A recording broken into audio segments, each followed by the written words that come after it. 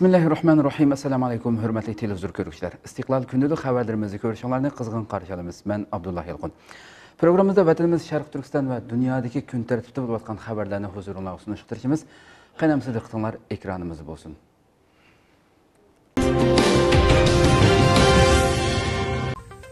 Xitoyning chet el shirkatlariga qarata qizil chiziqni kengaytganligi haqida dokulat e'lon qilindi. Germaniyaning bir tadqiqot organi yangi dokulat e'lon qilib xitoy rejimining chet el shirkatlarini siyosiy jihatda xitoy bilan birdaklikni saqlashga majburlaganligini xitoy sazgur deb qaragan masalalardagi qizil siziqni texamo kengaytganligini oshkorildi. Amerika ovozining 25 avgust xabar qilishicha germaniya poytaxti berlinga joylashgan Mercator xitoy ishlari tadqiqot markazi va germaniya sanoat jamiyati birlikda 100 dan ortiq shirkatni tekshirish tadqiq qilish asosida bir dokulat tayyorlagan. Dokladda oshkorlanishicha, Xitoy rejimining chet el shirkatlariga besim ishiltish qilmishi barg'ancha oshgan bo'lib, 2018-yildan boshlab ma'lum bo'lishga boshlagan bu masalalar ko'rinarlik ko'paygan. Tadqiqot doklatining o'rtaq yozuvchisi Mercator Xitoy ishlar tadqiqot markazining boshlig'i Makis Zengleyning aytishicha, bu doklad Xitoyning qachon va qandoq besim ishiltish andisini tushunish haqida ekan.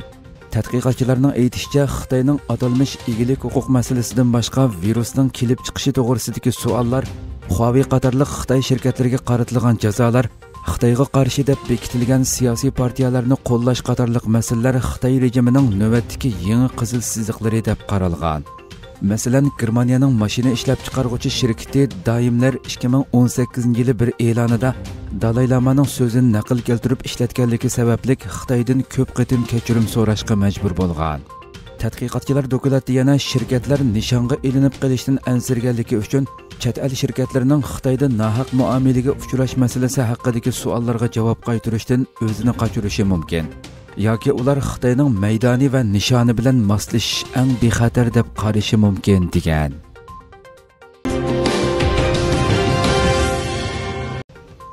bachelet dokulat e'lon qilish va'dasining amalga oshmaydiganligiga ishorat qildi BDT kishilik huquq ali amaldori Mishel Bachelet vazifadan ayrilishdan burun e'lon qilishga va'da qilgan Sharq Turkiston haqidagi dokulatini e'lon qilolmasligi mumkinligiga ishorat qildi.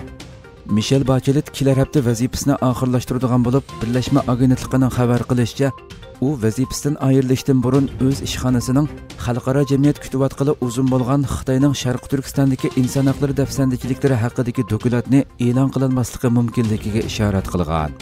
Bachelet taratqularga uning ishxonasining 31 avgustdan, ya'ni u vazifasidan ayrilishdan burun Sharq Turkiston to'g'risidagi dokulatni bekitgan muhlatda e'lon qilish uchun jafoliq ishlayotganligini aytgan va biz bu dokulatni tayyorlayotimiz. Bu dokulatning men vazifadan ayrilishdan burun e'lon qilinishini umid qilgan edim. Biz tirishyapmiz degan. Bacheletning aytishicha, uning ishxonasi bu tekshirish doklatining natijasini Xitoyga uqtirgan. Bu jarayonda xitoy amaldorlari nurg'un inkoslarga javob bergan. Uning aytishicha uning ishxonasi navbatda diqqatini amaliy xatolik ehtimolligiga markazlashtirmoqdikan kishilik huquqni ko'zitish tashkilotining janvada turishliq sho'basining amaldori jon fisher bajilitning axborot e'lon qilish yig'inida qilgan bu so'zlarni anglagandan keyin twitterda texmu tirishinglar. Bu dokladni e'lon qilmaslik uning ishxonasiga haqorat. Ziyonkashlikka uchrag'uvchilarga xiyonatdir degan. Bachelet bu yil 5 oydagi Xitoy va Sharq Turkiston ziyorati jarayonida Xitoy doiralari bilan qo'lga ilingan kishilarning tutilish ahvoli va tutqun qilinish masalasiga bo'lgan andisini o'tirg'a qo'ygan.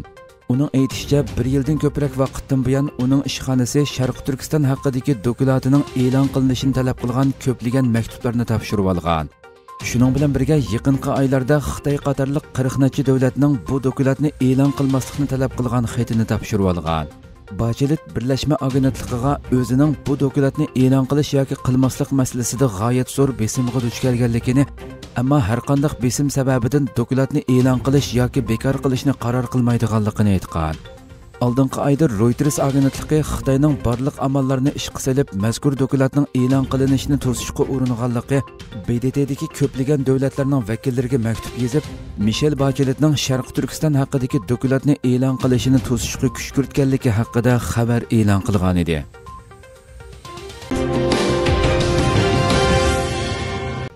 Tashkilotlar birligi Xitoyning сиясатыға siyosatiga qarshi bayonot e'lon qildi. Xalqaro sharq turkiston tashkilotlar birligi xitoyning yaqindan beri atalmish yuqumni nolga tushirish bahonasi bilan sharq turkiston xalqini uylariga qamab rahimsizlarcha qiynash qilmishlariga qarshi norozilik bayonoti e'lon qildi. 25 avgust e'lon qilingan bayonotda xitoyning sharq turkistonda boshlangan xitoy virusi yuqumining chet kirganligini da'vo Әмиләте Шәрқи Түркістанда тарқалған Қытай вирусыны Қытай өлкелерден Шәрқи Түркістанға көшіп келген Қытай аққулларының eğilip келгенлігі, Қытай yolға қойған ішіктерін тақап, рәхимсіздерге қамал қылыш қылмышының халықара insan ақлары принциптерге қарсы әрекет екенлігі, бұлып мұ ғұлжуды yolға қойған қамалда халықның аштықты қатты қиналғанлығы ularning kundalik turmush lozimatliklarini elishig'imi ruxsat qilinmaganligi xitoy ayrim tibbiy jihatdan ko'zitish nomida sharqi turkiston xalqini lagersimon o'rinlarga qamaganligi qatorliq nuqtalar qayd qilindi. Bayonotning oxirida xitoy tarafidan irqiy qirg'inchilikqa uchrayotgan sharqi turkiston xalqining navbatda atalmish yuqumning oldini olish bahonasi bilan aqalli insoniy huquqlarning dafsanda qilinayotganligi ta'kidlanish bilan birga bdt kishilik huquq komiteti kishilik huquq tashkilotlari va har qaysi davlatlar xitoyning sharqi turkistonda davomlashtirayotgan irqiy qirg'inchilik yurgizish kishilik huquq dafsandi qilish qatorliq jinoyatlarni cheklash uchun harakatga kelishga chaqirildi.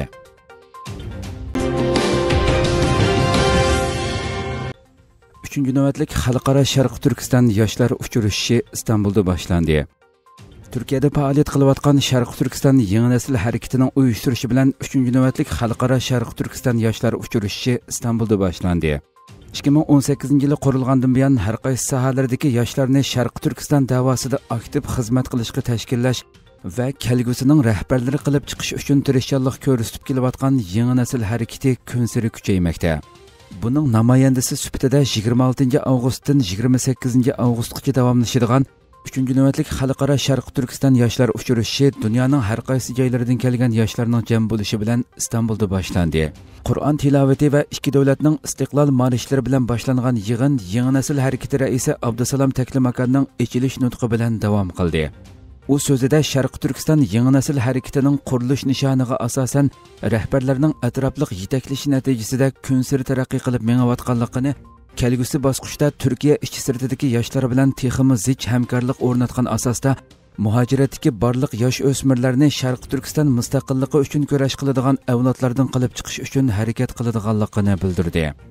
Orqadan xalqaro sharq turkiston tashkilotlar birligi raisi hidoyatulla o'g'izxon sharq turkiston ulamolar birligi raisi doktor ataulla shahyor jamoat arbobi abduqodir yapchan dunyo uyg'ur qurultiyi muavin raisi va uyg'ur tadqiqot instituti raisi doktor arkin akram uyg'ur akademiyasi bosh kotibi doktor shavkat nosir avstraliya sharq turkiston jamiyati raisi salohiddin tursun norvegiya uyg'ur islom madaniyat markazi raisi mardan uyg'ur qatorliqlar va turkiyadagi siyosiy partiyalardan buyuk birlik partiyasi yangidan rafoh partiyasi qatorliqlarning vakillari ayrim ayrim so'z qildi ular so'zlarida har qanday millatning gullanishi va qudrat tepishida yoshlarning o'ynaydigan rolining alohida muhim ekanligini bo'libmi sharqi turkiston xalqidek mustamlika ostida turayotgan bir millat uchun texmi ta'xirsiz ekanligini va yoshlarning mas'uliyatining intayin ig'irligini bildirishib har qanday ishlarda ularga hamdamda bo'ladiganligini qo'llaydiganligini bildirishdi uch kun davom qiladigan mazkur yig'inda milliy kimlik diniy kimlik va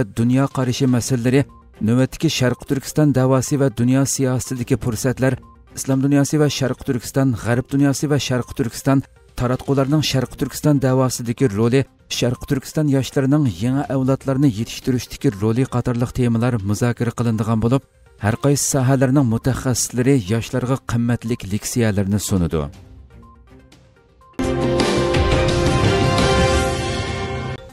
İtaliya 2024 ming yigirma rus gaziga tayanishdan qutuladiganligini e'lon qildi. İtaliya bosh ministri mario dragi 2024 ming yigirma to'rtinchi rossiyaning tabiiy gaziga tayinishdan butunlay qutulalaydiganligini bildirdi.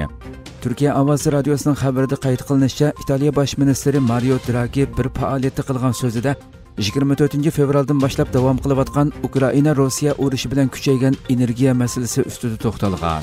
U agar italiyaning yangi tabiiy gaz bilan ta'minlash turlari belgilangan muddat ichida tamomlanganda 2024 yili kuzdan tortib rossiya gazidan butunlay mustaqil holga keladiganligini qayd qilib o'tgan va bu davlat bexatarligi uchun asosiy nishona hisoblandi.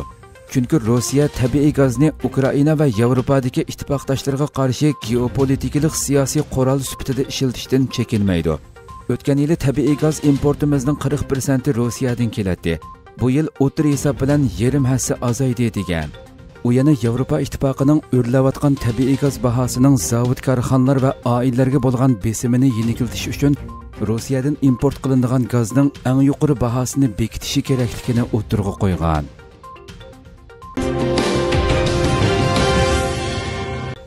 Dunyoda 6 milliondan ortiq kishi virus sababidan hayotidan ayrilgan.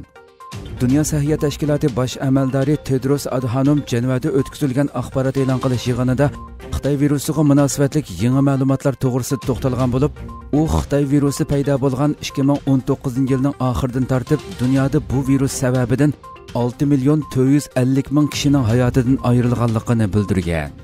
U o'limning oldini olalaydigan vositalar bor turuqliq bunchivala o'limning yuz berishini qabul qilg'ili bo'lmaydiganligini eskartib barliq hukumatlarni nupusining 70 persentini vaksina emlash nishoni yo'lida sahiya xodimlarini yashanganlar va xatarlik guruhining ostidagi kishilarni emlashga chaqiramiz.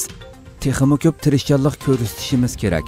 Dunyo nupusining uchdan biri sahiya xodimlarining uchdan ikkisi va yashanganlarning to'rtdan uchiga hozirgacha vaksina emlanmadi degan.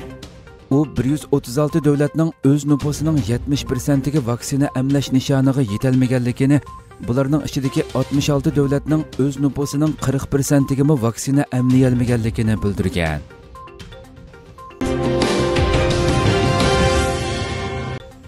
Antonio guterres bermadagi rohinga musulmonlari ustida to'xtaldi.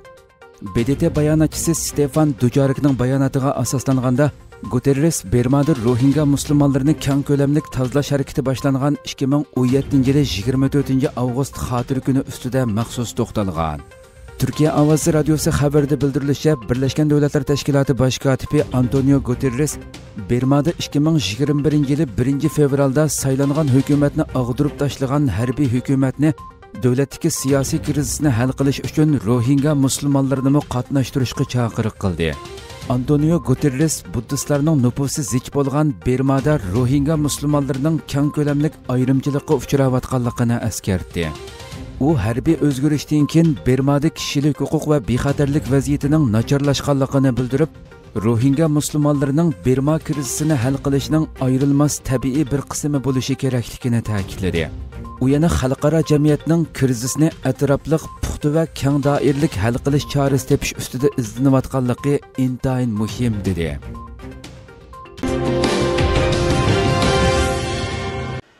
hurmatli televizor ko'ruvchilar shuna qilib bugungi xabarimiz mush yerda oxirlashdi. Atigi xabarimizni ko'rishgacha sizlarni janobiy allohga topshiramiz. Shuna qilib programma oxirida ekran orqasidagi barliq xizmatdoshlarimga ko'pdan ko'p rahmat aytaman. Assalomu alaykum va rahmatulloh.